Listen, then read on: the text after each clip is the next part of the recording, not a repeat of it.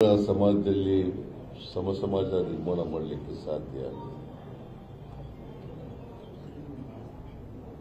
ಹಾಗಾಗಿ ಎಪ್ಪತ್ತ ಮೂರು, ಎಪ್ಪತ್ನಾಲ್ಕು ತಿದ್ದುಪಡಿಗಳನ್ನು ಸಂವಿಧಾನಕ್ಕೆ ತಗಬಂದು ಎಪ್ಪತ್ಮೂರು, ಎಪ್ಪತ್ನಾಲ್ಕು.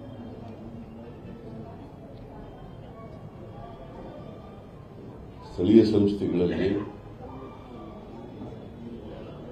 ಮಹಿಳೆಯರಿಗೆ ಮೀಸಲಾತಿ ಸಿಗಬೇಕು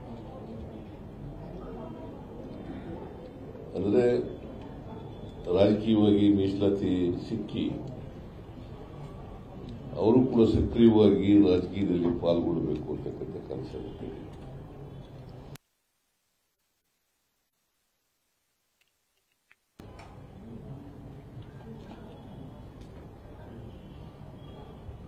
ಬಹುಶಃ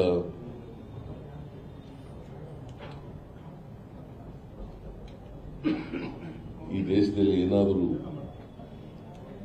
ಮಹಿಳೆಯರಿಗೆ ರಾಜಕೀಯದಲ್ಲಿ ಪಾಲ್ ಸಿಕ್ಕಿದ್ರೆ ಸ್ಥಳೀಯ ಸಂಸ್ಥೆಗಳಲ್ಲಿ ಈ ತಿದ್ದುಪಡಿಗಳು ಕಾರಣ ಸಂವಿಧಾನಕ್ಕೆ ತರಬೇಕು ಕಾರಣ ಅಂತ ಮರೀಲಿಕ್ಕೆ ಸಾಧ್ಯ ಭಾರತೀಯ ಜನತಾ ಪಕ್ಷದವರು ಎಷ್ಟೇ ನಾವು ಮಹಿಳೆಯರ ಪರವಾಗಿದ್ದೀವಿ, ಹಿಂದುಳಿದವ್ರ ಪರವಾಗಿದ್ದೀವಿ, ದಲಿತರ ಪರವಾಗಿದ್ದೀವಿ, ಅಲ್ಪಸಂಖ್ಯಾತರ ಪರವಾಗಿದ್ದೀವಿ. ಯಾಕಂತಂದ್ರೆ ನರೇಂದ್ರ ಮೋದಿಯವರು ಪದೇ ಪದೇ ಹೇಳ್ತಾರೆ, ಬಿಜೆಪಿಯವರು ಕೂಡ ಅದನ್ನ ಒಂದು ರೀತಿ ಬಾಯ್ಪಾಠ ಮಾಡ್ಕೊಂಡವ್ರ ರೀತಿ ಹೇಳ್ತಾರೆ. ಸಬ್ಕ ಸಾಥ್, ಸಬ್ಕ ವಿಕಾಸ್. ಅದು ಸಬ್ಕ ಸಾಥ್, ಸಬ್ಕ ವಿಕಾಸ್ ಅಲ್ಲ, ಸಬ್ಕ ವಿನಾಶ್.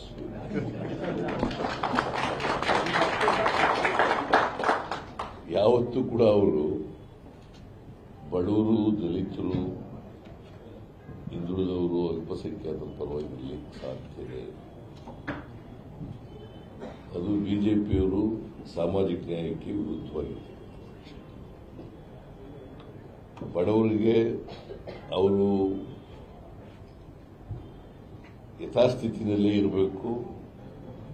ಅವರು ಆರ್ಥಿಕವಾಗಿ ಸಾಮಾಜಿಕವಾಗಿ ಶಕ್ತಿ ಬರಬಾರದು ಅನ್ನೋದ್ರಲ್ಲಿ ನಂಬಿಕೆ ಇತ್ತು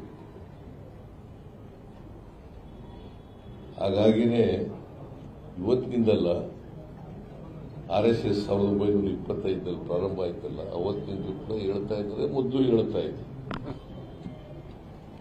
ಈಗಲೂ ಹೇಳ್ತಾ ಇದೆ. ಆದ್ರೆ ಬಾಯಿ ಮಾತೆ ಬೇರೆ, ಕೃತಿನೇ ಬೇರೆ ಅವರು. ಸೊ ಇದನ್ನ ನಾವು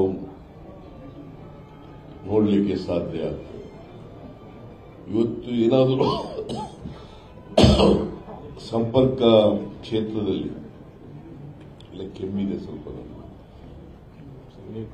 ಸಂಪರ್ಕ ಕ್ಷೇತ್ರದಲ್ಲಿ ಕ್ರಾಂತಿಯಾಗಿದ್ದರೆ ಜಗತ್ತಿನ ಯಾವುದೇ ಮೂಲೆಯಲ್ಲಿ ನಾವು ಸಂಪರ್ಕ ಮಾಡಲಿಕ್ಕೆ ಸಾಧ್ಯ ಆಗಿದ್ದರೆ ಅದಕ್ಕೆ ರಾಜೀವ್ ಗಾಂಧಿಯವರು ಕಾರಣ ಅಂತ